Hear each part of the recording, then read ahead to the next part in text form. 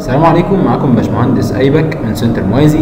النهارده هنتكلم في الفوتوشوب على حاجة كده جديدة وهي موضوع ال brush إزاي أقدر أشتغل بال brush في الفوتوشوب وأطلع منها أشكال جميلة ممكن أشتغل بيها في design؟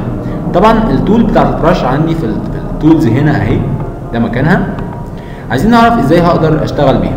مبدئيا أنا ما بشتغلش على ال background البيضاء الموجودة في ال design ببدأ أعمل layer جديدة بشتغل فيها ال brush بتاعتي. ليه؟ علشان أفضل محتفظ بال background بتاعتي.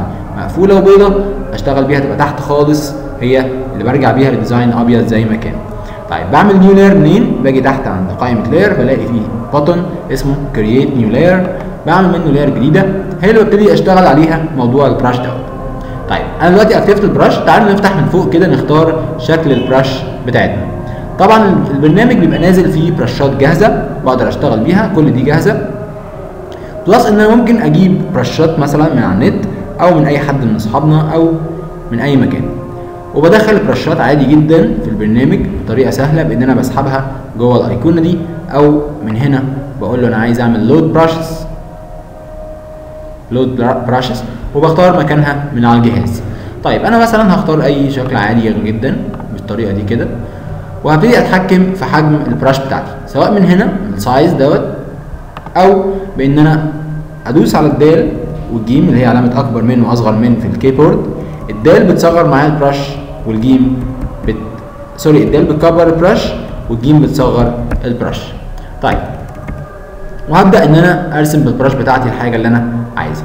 طبعا دي شكل brush عادي جدا. أنا دلوقتي موجود على layer جديدة. عايز أمسحها بدوس backspace عايز أعمل layer جديدة وأشتغل فيها brush بشكل مختلف. بغير شكل ال brush بتاعتي. ممكن مثلا أجيب شكل brush مختلف شوية. طبعا برضو هكبر ال brush بتاعتي.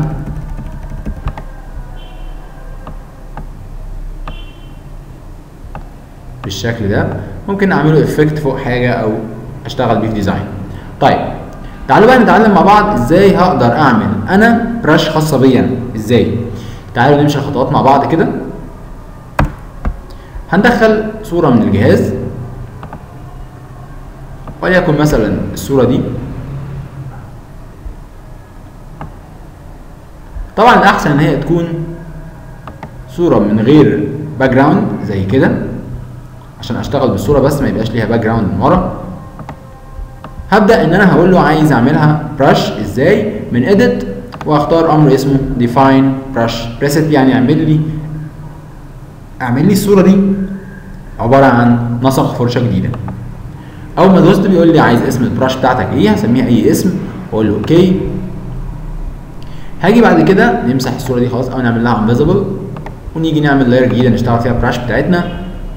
نختار ال brush هننزل تحت خالص في ال brushes هنلاقي إن آخر brush أنا مكريتها هي ال brush بتاعت شكل ميكي ده هبدأ إن أنا دلوقتي أرسم الشكل دوت باللون اللي أنا مختاره هنا في ال foreground أو ممكن أغير اللون ده مثلا أجيب لون تاني. وأبدأ إن أنا برضو ألون بالشكل دي طريقة إن أنا أشتغل بالبرشات عندي في البرنامج.